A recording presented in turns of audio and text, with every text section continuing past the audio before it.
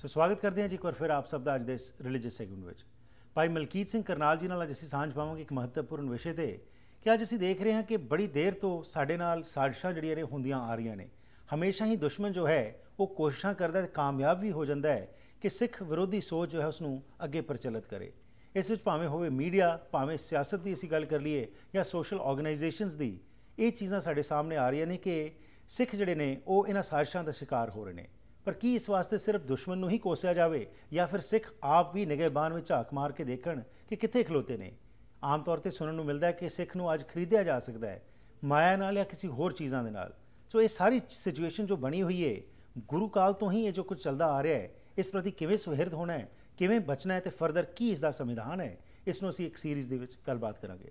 ਸਵਾਗਤ ਕਰਦੇ ਹਾਂ ਭਾਈ ਸਾਹਿਬ ਭਾਈ ਮਲਕੀਤ ਸਿੰਘ ਕਰਨਾਲ ਜੀ ਦਾ। ਜੀ ਆਨੰਦ ਜੀ ਭਾਈ ਸਾਹਿਬ ਵਾਹਿਗੁਰੂ ਜੀ ਕਾ ਖਾਲਸਾ ਵਾਹਿਗੁਰੂ ਜੀ ਕੀ ਫਤਿਹ ਜੀ। ਜੀ। ਫਤਿਹ ਸੋ ਇਹ ਸਮੱਸਿਆ ਤਾਂ ਜੀ ਗੁਰੂ ਕਾਲ ਦੇ ਪੀਰੀਅਡ ਤੋਂ ਹੀ ਅਸੀਂ ਜਦੋਂ ਦੇਖਦੇ ਹਾਂ ਤਾਂ ਇਹ ਸ਼ੁਰੂ ਹੋ ਗਈ ਸੀ ਕਿਉਂਕਿ ਜਦੋਂ ਗੁਰੂ ਨਾਨਕ ਸਾਹਿਬ ਨੇ ਇਹ ਕਹਿ ਦਿੱਤਾ ਸੀ ਕਿ ਬਈ ਮੈਂ ਇਹ ਜਨੇਊ ਕਿਉਂ ਪਾਵਾਂ ਉਸ ਸਮੇਂ ਤਾਂ ਭਾਵੇਂ ਉਹ ਹਾਰ ਜਿਹੜੀ ਉਹ ਸੋਚ ਸੀ ਉਸ ਨੂੰ ਮਿਲੀ ਹੋਏਗੀ ਲੇਕਿਨ ਤਦ ਤੋਂ ਹੀ ਮੈਂ ਸਮਝਣਾ ਕਿ ਇੱਕ ਲੜੀ ਜਿਹੜੀ ਉਹ ਚੱਲ ਪਈ ਕਿ ਨਹੀਂ ਇਹ ਇਸ ਤਰ੍ਹਾਂ ਤਾਂ ਕਾਬੂ ਆਣੇ ਨਹੀਂ ਕਿਸੇ ਹੋਰ ਤਰੀਕੇ ਨਾਲ ਅਸੀਂ ਕਾਮਯਾਬ ਹੋਈਏ ਤੇ ਬਹੁਤ ਹੱਦ ਤੱਕ ਉਹ ਕਾਮਯਾਬ ਹੋ ਵੀ ਰਹੇ ਨੇ। ਬਿਲਕੁਲ। ਸੋ ਕੀ ਇਸ਼ੂਜ਼ ਕੀ ਨੇ ਜੀ ਉਸ ਸਮੇਂ ਤੋਂ ਲੈ ਕੇ ਅੱਜ ਤੱਕ ਦਾ ਜਿਹੜਾ ਸਫ਼ਰ ਹੈਗਾ ਉਹਦੇ ਵਿੱਚ ਤੁਸੀਂ ਕਿਹਨੂੰ ਮਾਰਕ ਕੀਤਾ ਕਿਹੜੇ ਪੀਰੀਅਡਸ ਨੂੰ ਜਿਹਦੇ ਵਿੱਚ ਕਿ ਇਹ ਸਾਜ਼ਿਸ਼ਾਂ ਨਕਾਬ ਹੋਈਆਂ ਤੇ ਅੱਜ ਵੀ ਕੀ ਕੁਝ ਚੱਲ ਰਿਹਾ ਜੀ?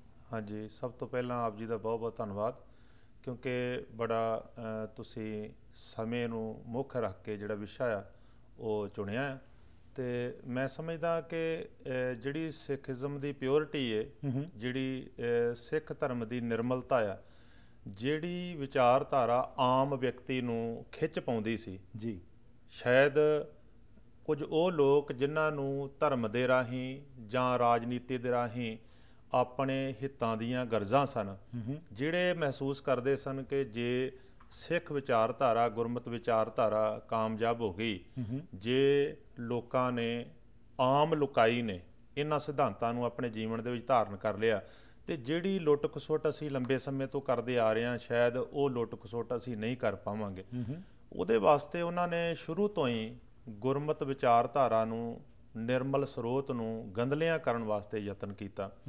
ਜਿਵੇਂ ਤੁਸੀਂ ਆਪ ਹੀ ਹੁਣੇ ਕਹਿ ਰਹੇ ਸੀ ਕਿ ਗੁਰੂ ਨਾਨਕ ਸਾਹਿਬ ਮਹਾਰਾਜ ਦੇ ਵੇਲੇ ਤੋਂ ਹੀ ਜਦੋਂ ਗੁਰੂ ਨਾਨਕ ਸਾਹਿਬ ਮਹਾਰਾਜ ਨੇ ਸਮਕਾਲੀ ਧਰਮ ਦੇ ਪਖੰਡ ਨੂੰ ਨਕਾਰਿਆ ਸਮਕਾਲੀ ਝੂਠੀ ਰਾਜਨੀਤੀ ਜਿਹੜੀ ਆਮ ਲੋਕਾਂ ਦਾ ਸ਼ੋਸ਼ਣ ਕਰਦੀ ਸੀ ਉਹਦੇ ਖਿਲਾਫ ਗੁਰੂ ਸਾਹਿਬ ਜੀ ਨੇ ਨਾਰਾ ਬੁਲੰਦ ਕੀਤਾ ਤੇ ਮੌਕੇ ਦੇ ਹਾਕਮਾਂ ਨੇ ਜਾਂ ਮੌਕੇ ਦੇ ਅਖੌਤੀ ਧਰਮ ਨੇ ਗੁਰੂ ਸਾਹਿਬ ਜੀ ਦੇ ਵਿਰੁੱਧ ਜਹਾਦ ਖੜਾ ਕੀਤਾ। ਠੀਕ।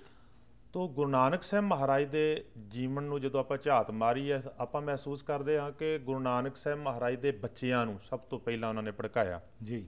ਗੁਰੂ ਨਾਨਕ ਸਾਹਿਬ ਮਹਾਰਾਜ ਦੇ ਅਸੂਲਾਂ ਦੇ ਖਿਲਾਫ ਚੱਲਣ ਵਾਸਤੇ ਉਹਨਾਂ ਨੂੰ ਪ੍ਰੇਰਿਤ ਕੀਤਾ। ਅਸੀਂ ਗੁਰਬਾਣੀ ਦੇ ਵਿੱਚੋਂ ਹੀ ਜੇ ਰਹਿਨਮਾਈ ਲਈਏ ਤੇ ਗੁਰੂ ਸਾਹਿਬ ਜੀ ਦੀ ਬਾਣੀ ਕਹਿੰਦੀ ਏ ਪੁੱਤਰੀ ਕੌਲ ਨਾ ਪਾਲਿਓ ਕਰ ਪੀਰੋਂ ਕੰਨ ਮਰਟੀਏ ਦਿਲ ਖੋਟੇ ਆਕੀ ਫਿਰਨ।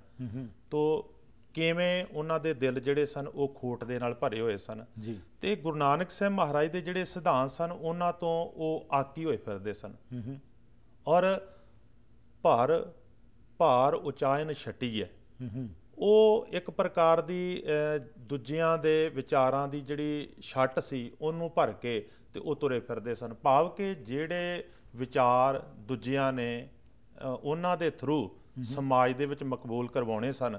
ਉਹਨਾਂ ਵਿਚਾਰਾਂ ਨੂੰ ਲੈ ਕੇ ਤੇ ਉਹ ਗੁਰੂ ਨਾਨਕ ਸਾਹਿਬ ਮਹਾਰਾਜ ਦੇ ਖਿਲਾਫ ਹੀ ਆ ਕੇ ਖੜੋ ਗਏ। ਠੀਕ। ਉਹਦੇ ਬਾਅਦ ਤੁਸੀਂ ਦੇਖੋ ਕਿ ਇਹ ਸਾਜ਼ਿਸ਼ ਗੁਰੂ ਸਹਿਬਾਨਾਂ ਦੇ ਸਮੇਂ ਗੁਰੂ ਨਾਨਕ ਸਾਹਿਬ ਮਹਾਰਾਜ ਦੇ ਬਾਅਦ ਵੀ ਚੱਲਦੀ ਰਹੀ। ਜੀ। ਬਾਕੀ ਗੁਰੂ ਪੁੱਤਰਾਂ ਨੂੰ ਵੀ ਆਮ ਤੌਰ ਤੇ ਇਹ ਪੁਜਾਰੀ ਵਰਗ ਜਿਹੜਾ ਉਹ ਭੜਕਾਉਂਦਾ ਰਿਹਾ। ਕੇਵਲ ਇਹਦੇ ਨਾਲ ਹੀ ਉਹਨਾਂ ਦੀ ਗੱਲ ਨਹੀਂ ਬਣੀ। ਉਹਨਾਂ ਨੇ ਸੋਚਿਆ ਕਿ ਜਿਹੜੇ ਵਿਚਾਰ ਗੁਰੂ ਸਾਹਿਬਾਨਾਂ ਦੇ ਬਖਸ਼ਿਸ਼ ਕੀਤੇ ਹੋਏ ਜਿਹੜੇ ਇੱਕ ਨਿਰਮਲ ਸਮਾਜ ਦੀ ਸਿਰਜਣਾ ਕਰਦੇ ਨੇ ਕਿਉਂ ਨਾ ਉਹਨਾਂ ਵਿਚਾਰਾਂ ਦੇ ਵਿੱਚ ਕੋਈ ਰਲਾਵਟ ਪਾ ਦਈਏ। ਰਾਈਟ ਉਹਨਾਂ ਨੇ ਗੁਰਬਾਣੀ ਦੇ ਪੈਰਲਰ ਕੁਝ ਹੋਰ ਕੱਚੀਆਂ ਕਵਿਤਾਵਾਂ ਜਿਹੜੀਆਂ ਸਨ ਖੜੀਆਂ ਕੀਤੀਆਂ ਔਰ ਗੁਰੂ ਸਾਹਿਬ ਜੀ ਨੇ ਉਸੇ ਸਮੇਂ ਸਮੇਂ ਦੇ ਅਨੁਕੂਲ ਉਪਦੇਸ਼ ਸੰਗਤਾਂ ਨੂੰ ਤੁਰੰਤ ਦਿੱਤਾ ਕਿ ਸਤਿਗੁਰ ਬਿਨਾ ਹੋਰ ਕੱਚੀ ਹੈ ਬਾਣੀ। ਜੀ। ਕਿਉਂਕਿ ਕੱਚੀ ਬਾਣੀ ਜਿਹੜੀ ਸੀ ਗੁਰਮਤ ਦੀ ਵਿਚਾਰਧਾਰਾ ਨੂੰ ਕਮਜ਼ੋਰ ਕਰਨ ਵਾਸਤੇ ਉਚਾਰਨ ਕੀਤੀ ਗਈ। ਭਾਵੇਂ ਕਿ ਇਹ ਉਹਨਾਂ ਦੀ ਸਾਜ਼ਿਸ਼ ਦਾ ਹਿੱਸਾ ਸੀ ਤੇ ਗੁਰੂ ਪੁੱਤਰਾਂ ਦੁਆਰਾ ਹੀ ਇਹ ਕੱਚੀ ਕਵਿਤਾ ਜਿਹੜੀ ਸੀ ਉਹ ਪ੍ਰਗਟ ਕਰਵਾਈ ਗਈ। ਪਰ ਇੱਕ ਪੱਕੀ ਗੱਲ ਆ ਕਿ ਪਹਿਲਾਂ ਗੁਰੂ ਪੁੱਤਰਾਂ ਨੂੰ ਉਹਨਾਂ ਨੇ ਚੁੱਕਣਾ ਦਿੱਤੀ। ਜੀ। ਗੁਰੂ ਵਿਚਾਰਧਾਰਾ ਦੇ ਪੈਰਲਰ ਇੱਕ ਨਵੀਂ ਤੇ ਵਿਰੋਧੀ ਵਿਚਾਰਧਾਰਾ ਜਿਹੜੀ ਪੁਰਾਣੇ ਵਿਚਾਰਾਂ ਨੂੰ ਲੈ ਕੇ ਤੇ ਸਮਾਜ ਨੂੰ ਉਵੇਂ ਦਾ ਹੀ ਕਮਜ਼ੋਰ ਤੇ ਨਕਾਰਾ ਬਣਾਉਣਾ ਚਾਹੁੰਦੀ ਸੀ। ਠੀਕ। ਫਿਰ ਨਰੋਲ ਵਿਚਾਰਧਾਰਾ ਨੂੰ ਕਮਜ਼ੋਰ ਕਰਨ ਵਾਸਤੇ ਉਹਨਾਂ ਨੇ ਕੱਚੀ ਬਾਣੀ ਜਿਹੜੀ ਸੀ ਉਹ ਪੈਦਾ ਕੀਤੀ। ਠੀਕ। ਉਹਦੇ ਬਾਅਦ ਇਹਨਾਂ ਲੋਕਾਂ ਨੇ ਗੁਰੂ ਇਤਿਹਾਸ ਨੂੰ ਖਰਾਬ ਕਰਨ ਵਾਸਤੇ ਗੁਰੂ ਕਾਲ ਦੇ ਵਿੱਚ ਯਤਨ ਕੀਤਾ। ਕੁਝ ਐਸੀਆਂ ਪੋਥੀਆਂ ਐਸੀਆਂ ਕਹਾਣੀਆਂ ਇਹਨਾਂ ਨੇ ਆਜ਼ਾਦ ਕੀਤੀਆਂ। ਜਿਹੜੀਆਂ ਕਹਾਣੀਆਂ ਤੇ ਪੋਥੀਆਂ ਦੇ ਵਿੱਚ ਗੁਰੂਆਂ ਦਾ ਜੋ ਅਸਲ ਜੀਵਨ ਸੀ ਜੋ ਗੁਰੂ ਸਾਹਿਬ ਜੀ ਦਾ ਇਨਕਲਾਬੀ ਜੀਵਨ ਸੀ। ਉਸ ਇਨਕਲਾਬੀ ਜੀਵਨ ਨੂੰ ਇਹਨਾਂ ਨੇ ਇੱਕ ਪ੍ਰਕਾਰ ਦਾ ਕਹਿ ਲਓ ਮਿਥਿਹਾਸਕ ਧੁੰਦਲੇਪਨ ਦੇ ਵਿੱਚ ਲਕਾਉਣ ਦਾ ਯਤਨ ਕੀਤਾ ਤਾਂ ਕਿ ਗੁਰੂ ਨਾਨਕ ਸਾਹਿਬ ਜੀ ਦੀ ਜਿਹੜੀ ਕ੍ਰਾਂਤੀਕਾਰੀ ਸੋਚ ਆ ਜਿਹੜਾ ਉਹਨਾਂ ਦਾ ਕ੍ਰਾਂਤੀਕਾਰੀ ਸਰੂਪ ਆ ਉਹ ਸਮਾਜ ਦੇ ਸਾਹਮਣੇ ਪ੍ਰਗਟ ਨਾ ਹੋ ਸਕੇ। ਤੋਂ ਇਹ ਗੁਰੂ ਕਾਲ ਦੇ ਵਿੱਚ ਹੀ ਉਹਨਾਂ ਦੀਆਂ ਸਾਜ਼ਿਸ਼ਾਂ ਜਿਹੜੀਆਂ ਸਨ ਆਰੰਭ ਹੋ ਗਈਆਂ ਸਨ। ਪਰ ਗੁਰੂ ਸਹਿਬਾਨ ਨੇ ਆਪਣੇ ਕਾਲ ਦੌਰਾਨ ਅਖੌਤੀ ਸਾਜ਼ਿਸ਼ਾਂ ਦੇ ਖਿਲਾਫ ਬੜਾ ਵੱਡਾ ਉਹਨਾਂ ਨੇ ਜਿਹੜਾ ਸੀ ਉਹ ਕਹਿ ਲਓ ਕਿ ਸਮੇਂ ਦਾ ਜਿਹੜਾ ਰੋਲ ਸੀ ਉਹ ਅਦਾ ਕੀਤਾ। ਜਿਵੇਂ ਗੁਰੂ ਸਾਹਿਬ ਜੀ ਨੇ ਸਮਕਾਲੀ ਜਿਹੜੇ ਭੜਕਾਉਣ ਵਾਲੇ ਲੋਕ ਸਨ ਜਿੱਥੇ ਉਹਨਾਂ ਦਾ ਵਿਚਾਰਾਂ ਦੇ ਰਾਹੀਂ ਮੂੰਹ ਤੋੜ ਜਵਾਬ ਦਿੱਤਾ ਉੱਥੇ ਜਿਹੜੇ ਉਹਨਾਂ ਦੇ ਪੁੱਤਰਾਂ ਨੇ ਬਗਾਵਤਾਂ ਕੀਤੀਆਂ ਉਹਨਾਂ ਨੂੰ ਵੀ ਉਹਨਾਂ ਨੇ ਆਪਣੇ ਪੰਥ ਵਿੱਚੋਂ ਆਪਣੀ ਵਿਚਾਰਧਾਰਾ ਦੇ ਵਿੱਚੋਂ ਬਾਹਰ ਕੱਢਿਆ। ਇੱਕ ਹੀ ਇਤਿਹਾਸਕ ਪ੍ਰਮਾਣ ਤੁਸੀਂ ਲੈ ਲਓ ਬਾਬਾ ਰਾਮ ਰਾਏ। ਬਾਬਾ ਰਾਮ ਰਾਏ ਨੇ ਜੇ ਗੁਰਮਤ ਵਿਚਾਰਧਾਰਾ ਦਾ ਵਿਰੋਧ ਕੀਤਾ ਖੁਦ ਗੁਰੂ ਬਣਨ ਦਾ ਯਤਨ ਕੀਤਾ ਤੇ ਗੁਰੂ ਹਰਿ ਸਿੰਘ ਮਹਾਰਾਜ ਨੇ ਕਹਿ ਦਿੱਤਾ ਕਿ ਭਾਵੇਂ ਸਾਡਾ ਪੁੱਤਰ ਹੈ ਪਰ ਕਿਉਂਕਿ ਗੁਰੂ ਨਾਨਕ ਸਾਹਿਬ ਜੀ ਦੀ ਵਿਚਾਰਧਾਰਾ ਦਾ ਵਿਰੋਧੀ ਹੈ ਇਸ ਵਾਸਤੇ ਜਿੱਧਰ ਇਹਦਾ ਮੂੰਹ ਹੈ ਉਧਰ ਚਲਾ ਜਾਵੇ ਇਹ ਸਾਡੇ ਘਰ ਜਾਂ ਕੇਂਦਰੀ ਸਥਾਨ ਤੇ ਆਉਣ ਦੇ ਸਮਰੱਥ ਨਹੀਂ ਹੈ। ਤੋ ਗੁਰੂ ਸਾਹਿਬ ਨੇ ਬੜੇ ਸਖਤ ਅਸੂਲ ਬਣਾਏ ਇਹੋ ਜਿਹੇ ਸਾਜ਼ਿਸ਼ ਕਰਤਾ ਲੋਕਾਂ ਦੇ ਖਿਲਾਫ ਜਾਂ ਜਿਹੜੇ ਆਪਣੇ ਹੀ ਬੰਦੇ ਜਿਹੜੇ ਸਨ ਵਿਰੋਧ ਕਰ ਰਹੇ ਸਨ ਉਹਨਾਂ ਨੂੰ ਨਕਾਰਿਆ ਗੁਰੂ ਸਾਹਿਬ ਨੇ। ਉਹਦੇ ਬਾਅਦ ਗੁਰੂ ਸਾਹਿਬ ਨੇ ਆਪ ਇਤਿਹਾਸਕ ਸਰੋਤਾਂ ਦੀ ਸੰਭਾਲ ਕੀਤੀ। ਜਿੱਥੇ ਆਪਾਂ ਇਹ ਵੇਖਦੇ ਆ ਕਿ ਉਹਨਾਂ ਨੇ ਗੁਰਮੁਖੀ ਲਿਪੀ ਨੂੰ ਵਧਾਉਣ ਫਲਾਉਣ ਦੇ ਵਿੱਚ ਯੋਗਦਾਨ ਦਿੱਤਾ ਪੰਜਾਬੀ ਭਾਸ਼ਾ ਦੇ ਵਿਕਾਸ ਦੇ ਵਿੱਚ ਉਹਨਾਂ ਨੇ ਯੋਗਦਾਨ ਪਾਇਆ। ਉੱਥੇ ਉਹਨਾਂ ਨੇ ਗੁਰੂ ਇਤਿਹਾਸ ਨੂੰ ਸੰਭਾਲਿਆ। ਜੀ। ਜਿਵੇਂ ਗੁਰੂ ਨਾਨਕ ਸਾਹਿਬ ਮਹਾਰਾਜ ਜੀ ਦੀ ਜਨਮ ਸਾਖੀ ਜਿਹੜੀ ਸੀ ਗੁਰੂ ਅੰਗਦ ਸਾਹਿਬ ਮਹਾਰਾਜ ਜੀ ਦੁਆਰਾ ਲਿਖਵਾਈ ਗਈ ਤਾਂ ਕਿ ਜਿਹੜਾ ਗੁਰੂ ਨਾਨਕ ਸਾਹਿਬ ਜੀ ਦਾ ਸਰੂਪ ਮਥਿਆਸਕ ਧੁੰਦਲੇਪਨ ਦੇ ਵਿੱਚ ਕੁਝ ਲੋਕਾਂ ਨੇ ਲਕਾਉਣ ਦਾ ਯਤਨ ਕੀਤਾ ਉਹ ਪ੍ਰਗਟ ਹੋ ਸਕੇ। ਭਾਵੇਂ ਉਹ ਇਤਿਹਾਸਕ ਸਰੋਤ ਅੱਜ ਸਾਡੇ ਕੋਲ ਨਹੀਂ ਉਸ ਇਤਿਹਾਸਕ ਸਰੋਤ ਨੂੰ ਵੀ ਸਾਡੇ ਵਿਰੋਧੀਆਂ ਨੇ ਬਾਅਦ ਦੇ ਵਿੱਚ ਖਤਮ ਕਰ ਦਿੱਤਾ। ਜੀ। ਉਹਦੇ ਬਾਅਦ ਜਿਹੜੀਆਂ ਰਾਜਨੀਤਿਕ ਸਾਜ਼ਿਸ਼ਾਂ ਸਨ ਕਿਉਂਕਿ ਮੌਕੇ ਦਾ ਜਿਹੜਾ ਪੁਜਾਰੀ ਸੀ ਉਹ ਦੌੜ ਕੇ ਰਾਜਨੀਤਿਕ ਲੋਕਾਂ ਦੇ ਕੋਲ ਜਾ ਬੈਠਦਾ ਸੀ ਤੇ ਉਹਨਾਂ ਨੂੰ ਕਹਿੰਦਾ ਸੀ ਕਿ ਐਵੇਂ ਕਰ ਰਹੇ ਨੇ ਜੀ ਐਵੇਂ ਕਰ ਰਹੇ ਨੇ ਆਹ ਗੱਲਾਂ ਕਹਿੰਦੇ ਨੇ ਧਰਮ ਦੇ ਖਿਲਾਫ ਨੇ ਰਾਜ ਦੇ ਖਿਲਾਫ ਨੇ। ਤੋਂ ਗੁਰੂ ਸਾਹਿਬ ਨੇ ਗੁਰੂ ਘਰ ਦੇ ਵਿੱਚ ਐਸੇ ਵਿਦਵਾਨ ਪੈਦਾ ਕੀਤੇ ਜਿਹੜੇ ਵਿਦਵਾਨ ਬੜੀ ਬਰੀਕ ਬੀਨੀ ਦੇ ਨਾਲ ਉਹਨਾਂ ਸਾਜ਼ਿਸ਼ਾਂ ਸਾਜ਼ਿਸ਼ਾਵਾਂ ਤੋਂ ਪਰਦਾ ਚੁੱਕਦੇ ਸਨ ਤੇ ਰਾਜਿਆਂ ਦੇ ਦਰਬਾਰ ਦੇ ਵਿੱਚ ਜਾ ਕੇ ਐਸੇ ਵਧੀਆ ਢੰਗ ਨਾਲ ਸਪਸ਼ਟੀਕਰਨ ਦਿੰਦੇ ਸਨ ਕਿ ਉਹਨਾਂ ਰਾਜਿਆਂ ਨੂੰ ਸੰਤੁਸ਼ਟੀ ਹੁੰਦੀ ਸੀ। ਜਿਵੇਂ ਅਕਬਰ ਦੇ ਦਰਬਾਰ ਦੇ ਵਿੱਚ ਜਦੋਂ ਸ਼ਿਕਾਇਤਾਂ ਗਈਆਂ ਬਾਬਾ ਬੁੱਢਾ ਸਾਹਿਬ ਭਾਈ ਗੁਰਦਾਸ ਜੀ ਜੀ। ਜਾਂ ਭਾਈ ਜੇਠਾ ਜੀ ਜਿਹੜੇ ਬਾਅਦ ਦੇ ਵਿੱਚ ਧੰਨ ਸਤਿਗੁਰੂ ਸ੍ਰੀ ਗੁਰੂ ਰਾਮਦਾਸ ਜੀ ਮਹਾਰਾਜ ਬਣੇ। ਤੋਂ ਜਦੋਂ ਦਰਬਾਰ ਦੇ ਵਿੱਚ ਜਾ ਕੇ ਅਕਬਰ ਨੂੰ ਗੁਰਮਤ ਦੇ ਨਰੋਲ ਸਿਧਾਂਤਾਂ ਦੀ ਜਾਣਕਾਰੀ ਇਹਨਾਂ ਮਹਾਂਪੁਰਖਾਂ ਨੇ ਦਿੱਤੀ ਤੇ ਅਕਬਰ ਜਿਹੜਾ ਸੀ ਉਹਦਾ ਸਿਰ ਝੁਕ ਗਿਆ ਕਹਿਣ ਤੋਂ ਮੁਰਾਦ ਕਿ ਗੁਰੂ ਕਾਲ ਦੇ ਵਿੱਚ ਵੀ ਬਹੁਤ ਸਾਰੀਆਂ ਸਾਜ਼ਿਸ਼ਾਂ ਹੋਈਆਂ ਲੇਕਿਨ ਗੁਰੂ ਸਾਹਿਬਾਨਾਂ ਨੇ ਉਹਨਾਂ ਸਾਜ਼ਿਸ਼ਾਂ ਦੇ ਖਿਲਾਫ ਐਸੇ ਢੰਗ ਨਾਲ ਮੋਰਚਾਬੰਦੀ ਕੀਤੀ ਕਿ ਉਦੋਂ ਉਹ ਸਾਡਾ ਕੁਝ ਵਿਗਾੜ ਨਹੀਂ ਪਾਏ ਰਾਈਟ ਜਿਉਂ ਹੀ ਅਸੀਂ ਦੇਖਦੇ ਹਾਂ ਕਿ ਗੁਰੂ ਗ੍ਰੰਥ ਸਾਹਿਬ ਮਹਾਰਾਜ ਜੀ ਨੂੰ ਗੁਰਗੱਦੀ ਬਖਸ਼ਿਸ਼ ਕਰਨ ਉਪਰੰਤ ਦਸ਼ਮੇਸ਼ ਪਿਤਾ ਜੀ ਜੋਤੀ ਜੋ ਸਮਾਏ ਤਾਂ ਬਾਅਦ ਦੇ ਵਿੱਚ ਸਾਜ਼ਿਸ਼ ਕਰਤਾ ਜਿਹੜੇ ਲੋਕ ਸਨ ਉਹਨਾਂ ਨੇ ਵੱਡੇ ਪੱਧਰ ਤੇ ਸਾਜ਼ਿਸ਼ਾਂ ਕੀਤੀਆਂ। ਜੀ। ਜਿਵੇਂ ਸਭ ਤੋਂ ਪਹਿਲਾਂ ਉਹਨਾਂ ਨੇ ਜਿਵੇਂ ਮੈਂ ਪਹਿਲਾਂ ਗੱਲ ਕਰ ਚੁੱਕਿਆ ਹਾਂ ਸਾਡੇ ਕੋਲ ਇੱਕ ਇਤਿਹਾਸਕ ਸਰੋਤ ਸੀ ਗੁਰੂ ਸਾਹਿਬ ਦਾ ਜਿਹੜਾ ਮਹਾਰਾਜ ਦਾ ਅਸਲੀ ਚਿਹਰਾ ਪੇਸ਼ ਕਰਦਾ ਸੀ ਇੱਕ ਇਨਕਲਾਬੀ ਕ੍ਰਾਂਤੀਕਾਰੀ ਨਰੋਲ ਗੁਰਮਤ ਦੀ ਵਿਚਾਰਧਾਰਾ ਨੂੰ ਪ੍ਰਗਟਾਉਣ ਵਾਲਾ ਸਰੂਪ ਬਿਆਨ ਕਰਦਾ ਸੀ। ਉਸ ਪੋਥੀ ਨੂੰ ਉਹਨਾਂ ਲੋਕਾਂ ਨੇ ਖਤਮ ਕਰ ਦਿੱਤਾ। ਸ਼੍ਰੀ ਗੁਰੂ ਪ੍ਰਤਾਪ ਸੂਰਜ ਗ੍ਰੰਥ ਜਿਹਦੀ ਦੂਸਰੀ ਪੋਥੀ ਜਿਹੜੀ ਏ ਉਹਦਾ ਚੌਥਾ ਅਧਿਆਇ ਪੜੋ ਉਹਦੇ ਵਿੱਚ ਕਵੀ ਸੰਤੋਖ ਸਿੰਘ ਦੱਸਦੇ ਨੇ ਕਿ ਮੈਨੂੰ ਸ਼੍ਰੀ ਨਾਨਕ ਪ੍ਰਕਾਸ਼ ਲਿਖਣ ਦੀ ਲੋੜ ਕਿਉਂ ਪਈ? ਉਹਦੇ ਵਿੱਚ ਉਹਨਾਂ ਨੇ ਸਪਸ਼ਟ ਦੱਸਿਆ ਕਿ ਜਿਹੜੀ ਪੋਥੀ ਗੁਰੂ ਅੰਗਦ ਸਾਹਿਬ ਮਹਾਰਾਜ ਨੇ ਲਿਖਵਾਈ ਸੀ ਉਹਨੂੰ ਇੱਕ ਦੁਨੀ ਚੰਦ ਨਾਮ ਦਾ ਹਿੰਦਾਲੀਆ ਤੇ ਇੱਕ ਕਬੀਰ ਪੰਥੀ ਇਹ ਦੋ ਵਿਅਕਤੀਆਂ ਨੇ ਸਾਜ਼ਿਸ਼ ਦੇ ਤਹਿਤ ਪਾੜ ਕੇ ਬਿਆਸਾ ਦਰਿਆ ਦੇ ਵਿੱਚ ਰੋੜ ਦਿੱਤਾ ਤੇ ਫਿਰ ਉਹਨਾਂ ਨੇ ਭਾਈ ਬਾਲੇ ਦੇ ਨਾਂ ਤੇ ਇੱਕ ਪੋਥੀ ਤਿਆਰ ਕੀਤੀ ਜਿਹਦੇ ਵਿੱਚ ਭਾਈ ਬਾਲਾ ਮੁੱਖ ਕਰੈਕਟਰ ਹੈ ਤੇ ਭਾਈ ਮਰਦਾਨੇ ਨੂੰ ਉਸ ਪੋਥੀ ਦੇ ਵਿੱਚ ਇੱਕ ਭੁੱਖ ਲੱਗਣ ਵਾਲਾ ਧਿਆਇਆ ਜਿਹਾ ਵਿਅਕਤੀ ਪੇਸ਼ ਕੀਤਾ ਤੇ ਉਹਦੇ ਵਿੱਚ ਐਸੀਆਂ ਸਾਖੀਆਂ ਪੇਸ਼ ਕੀਤੀਆਂ ਗਈਆਂ ਜਿਹੜੀਆਂ ਸਾਖੀਆਂ ਗੁਰੂ ਸਾਹਿਬ ਨੂੰ ਇੱਕ ਇਤਿਹਾਸਕ ਪਾਤਰ ਨੇ ਇੱਕ ਮਿਥਿਹਾਸਕ ਪਾਤਰ ਪੇਸ਼ ਕਰਦੀਆਂ। ਐਂਡ ਜਿਹੜੀ ਗੁਰਮਤ ਦੇ ਸਿਧਾਂਤ ਨਾਲ ਜੁੜਦੀਆਂ ਨਹੀਂ ਸੀ ਉਸ ਨੂੰ ਇਹ ਅੱਗੇ ਹੌਲੀ ਹੌਲੀ ਕੋਸ਼ਿਸ਼ Promote ਕੀਤਾ ਗਿਆ। ਪ੍ਰਮੋਟ ਕੀਤਾ ਗਿਆ। ਇਹਦੇ ਬਾਰੇ ਹੋਰ ਜਾਣਕਾਰੀ ਲੈਣੇ ਜੀ ਛੋਟੀ ਜੀ ਬ੍ਰੇਕ ਤੋਂ ਬਾਅਦ।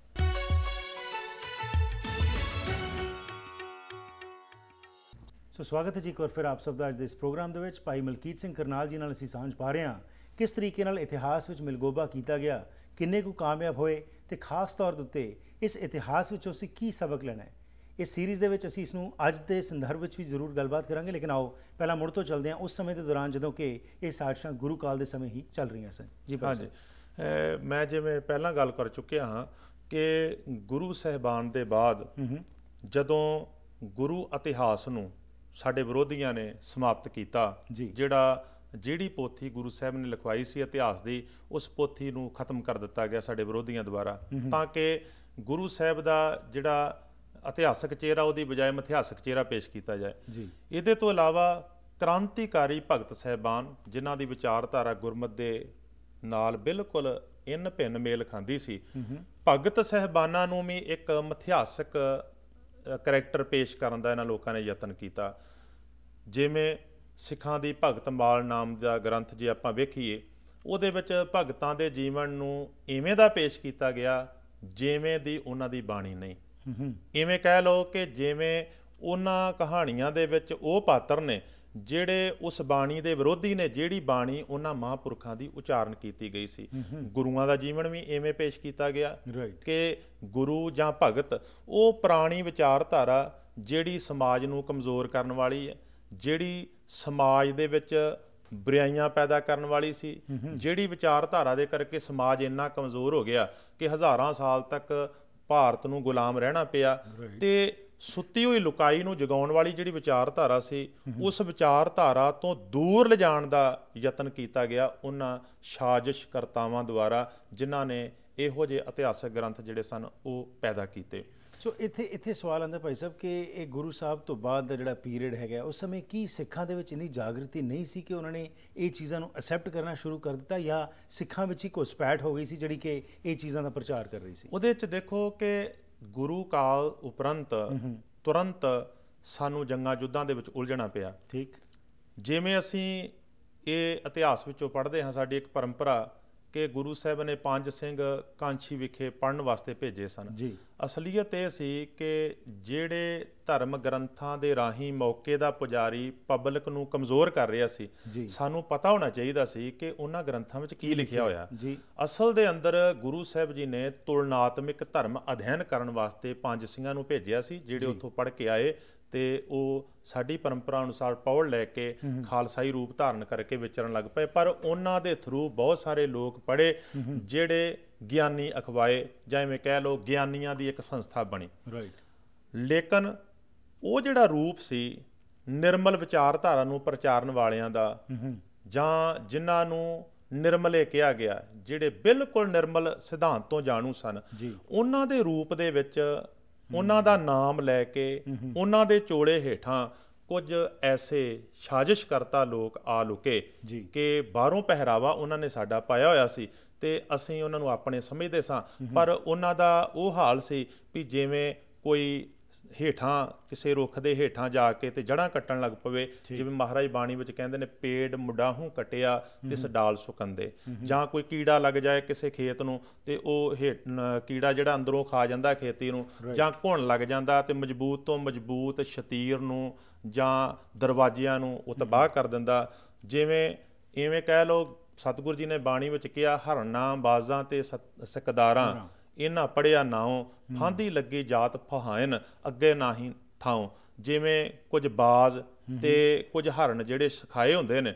ਤੇ ਸ਼ਿਕਾਰੀ ਆਪਣੇ ਨਾਲ ਲੈ ਕੇ ਜਾਂਦਾ ਤੇ ਉਹ ਸ਼ਿਕਾਰੀ ਉਹਨਾਂ ਬਾਜ਼ਾਂ ਜਾਂ ਉਹਨਾਂ ਹਰਨਾਂ ਦੇ ਰਾਹੀਂ ਹਰਨਾਂ ਦੀਆਂ ਡਾਰਾਂ ਨੂੰ ਤੇ ਪੰਖੀਆਂ ਨੂੰ ਜਿਹੜਾ ਸ਼ਿਕਾਰ ਬਣਾ ਲੈਂਦਾ। ਠੀਕ। ਇਵੇਂ ਬੰਦੇ ਕੁਝ ਆਪਣੇ ਵੀ ਸਨ ਜਿਹੜੇ ਬੰਦੇ ਉਹਨਾਂ ਦੀ ਪਕੜ ਦੇ ਵਿੱਚ ਆ ਗਏ ਤੇ ਕੁਝ ਉਹ ਬੰਦੇ ਸਾਡਾ ਰੂਪ ਧਾਰਨ ਕਰਕੇ ਸਾਡੇ ਵਾਲਾ ਪਹਿਰਾਵਾ ਪਾ ਕੇ ਸਾਡੇ ਵਿੱਚ ਆ ਖੜੋਤੇ। ਤੇ ਸਾਡੇ ਵਾਸਤੇ ਨਿਸ਼ਾਨਦੇਹੀ ਕਰਨੀ ਔਖੀ ਹੋ ਗਈ ਕਿ ਇਹ ਬੰਦੇ ਸਾਡੇ ਨੇ ਜਾਂ ਇਹ ਬੰਦੇ ਵਿਰੋਧੀਆਂ ਦੇ ਨੇ। ਤੋਂ ਉਹਨਾਂ ਬੰਦਿਆਂ ਨੇ ਸਾਡੀਆਂ ਸੰਪਰਦਾਵਾਂ ਦੇ ਵਿੱਚ ਆ ਕੇ ਸਾਡੀਆਂ ਜਥੇਬੰਦੀਆਂ ਦੇ ਵਿੱਚ ਆ ਕੇ ਐਸੀ ਘੁਸਪੈਠ ਕੀਤੀ।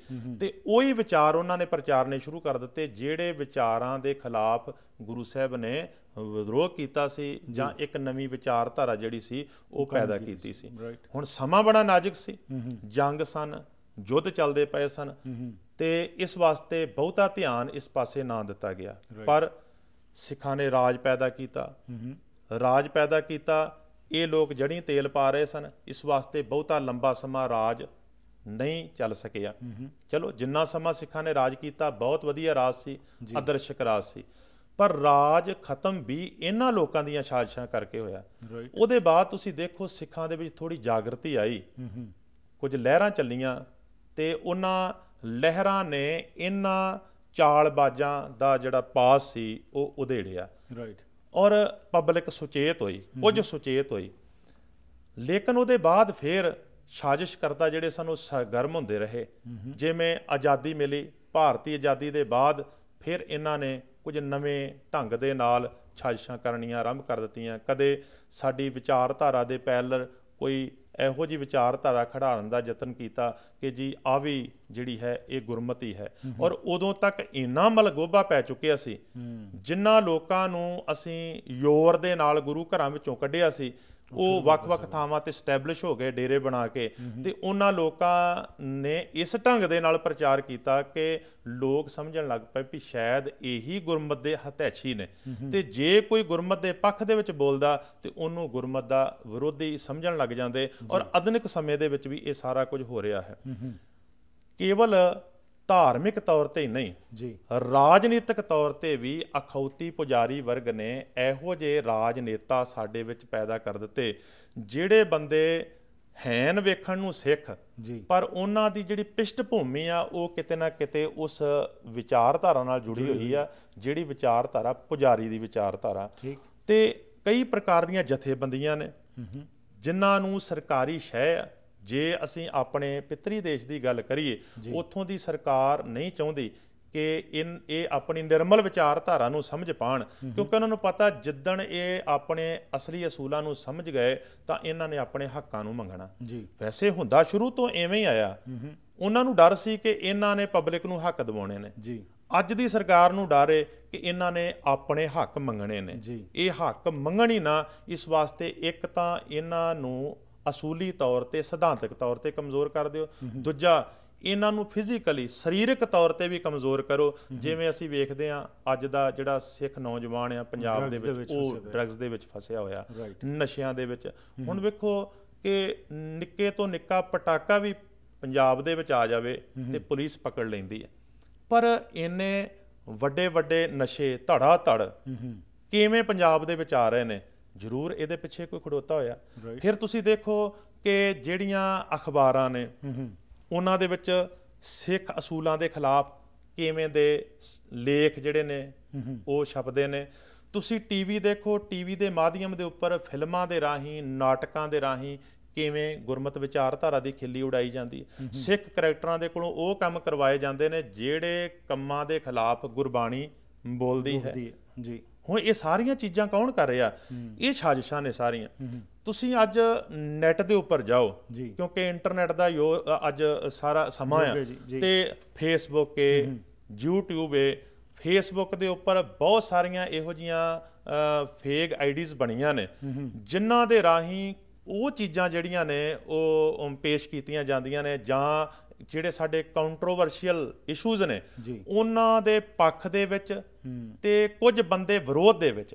ਐਸੇ ਢੰਗ ਦੇ ਨਾਲ ਕਮੈਂਟਸ ਕਰਦੇ ਨੇ ਤਾਂ ਕਿ ਇਹ ਜਿਹੜੇ ਸਾਡੇ ਮਤਭੇਦ ਨੇ ਉਹ ਹੋਰ ਜ਼ਿਆਦਾ ਉੱਭਰਨ। ਤੇ ਜਿਹੜੇ ਲੋਕ ਇਹਨਾਂ ਵਿਚਾਰਾਂ ਦੇ ਨਾਲ ਜੁੜੇ ਹੋਏ ਨੇ ਉਹਨਾਂ ਦੇ ਮਨ ਦੇ ਵਿੱਚ ਕੁੜੱਤਣ ਤੇ ਗੁੱਸਾ ਪੈਦਾ ਹੋਵੇ।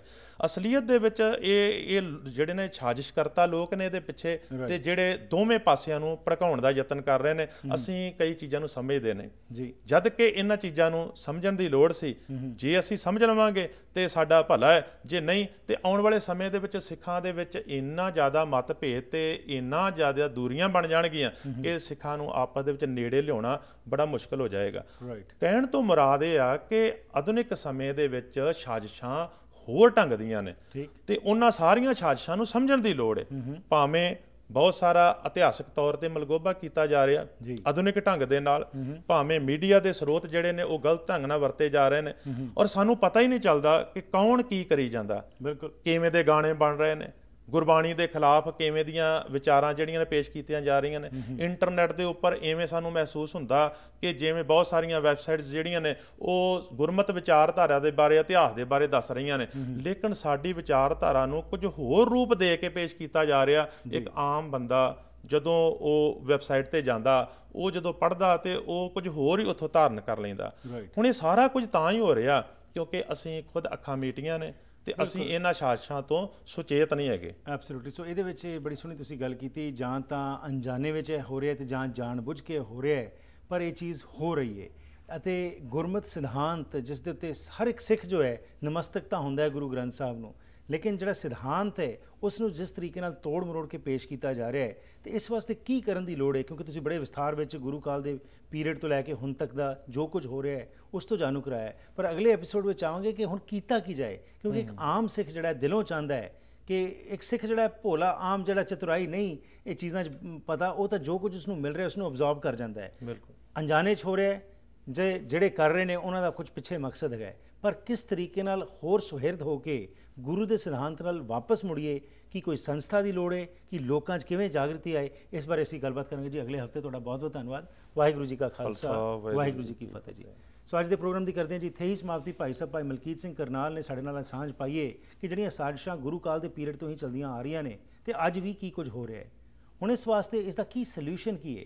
ਕਿਉਂਕਿ ਪ੍ਰੋਬਲਮਸ ਦਾ ਤਾਂ ਸਾਨੂੰ ਵੀ ਪਤਾ ਹੈ ਲੇਕਿਨ ਸੋਲੂਸ਼ਨਸ ਜਿਹੜੇ ਨੇ ਉਹ ਕਿਵੇਂ ਉਹਨਾਂ ਨੂੰ ਅਪਣਾਇਆ ਜਾਏ ਤੇ ਕਿਵੇਂ ਇਹ ਜਿਹੜੀ ਨੇੜਤਾ ਹੈ ਸਿੱਖਾਂ ਦੇ ਵਿੱਚ ਲਿਆਂਦੀ ਜਾਵੇ। ਕਿਉਂਕਿ ਹਰ ਇੱਕ ਅੱਜ ਸਿੱਖ ਜੋ ਹੈ, ਅੱਜ ਗੁਰੂ ਦੇ ਸਿਧਾਂਤ ਨਾਲ ਨਹੀਂ, ਬਲਕਿ ਗੁੱਟਾਂ ਨਾਲ ਜੁੜ ਕੇ ਰਹਿ ਗਿਆ ਹੈ। ਹਰ ਇੱਕ ਇਹੀ ਸਮਝਦਾ ਕਿ ਜੀ, ਮੇਰੇ ਗੁੱਟ ਦੇ ਵਿੱਚ ਜਿਹੜੀ ਸੋਚ ਹੈ, ਉਹੀ ਠੀਕ ਹੈ, ਪਰ ਇਸ ਦਾ ਨੁਕਸਾਨ ਸਾਰੀ ਕੌਮ ਨੂੰ ਉਠਾਉਣਾ ਪੈ ਰਿਹਾ ਹੈ। ਇਸ ਸੰਬੰਧ ਵਿੱਚ ਅਗਲੇ ਹਫ਼ਤੇ ਅਸੀਂ ਗੱਲਬਾਤ ਕਰਾਂਗੇ। ਜ਼ਰੂਰ ਆਪਣੀ ਫੀਡਬੈਕ ਦੇਣਾ 604 603 7555 ਜਾਂ ਫਿਰ ਈਮੇਲ ਰਾਹੀਂ ਸੰਪਰਕ ਕਰ ਸਕਦੇ ਹੋ। ਜੇਕਰ ਤੁਹਾਡੇ ਕੋਲ ਕੋਈ ਸਵਾਲ ਵੀ ਹੋਵੇ harpreetsingh@gmail.com ਇਹ ਸਾਰੇ ਪ੍ਰੋਗਰਾਮਸ ਤੁਸੀਂ youtube.com/harpreetsingh ਤੇ ਵੀ ਜਾ ਕੇ ਬਾਅਦ ਵਿੱਚ ਵੀ ਦੇਖ ਸਕਦੇ ਹੋ। ਨਾਲ ਹੀ ਸੋਸ਼ਲ ਮੀਡੀਆ ਦਾ ਵੀ ਅਸੀਂ ਸਹਾਰਾ ਲੈਨੇ ਆ ਫੇਸਬੁੱਕ ਅਤੇ ਟਵਿੱਟਰ ਤੇ ਵੀ ਤੁਸੀਂ ਸਾਡੇ ਨਾਲ ਸੰਪਰਕ ਬਣਾ ਸਕਦੇ ਹੋ।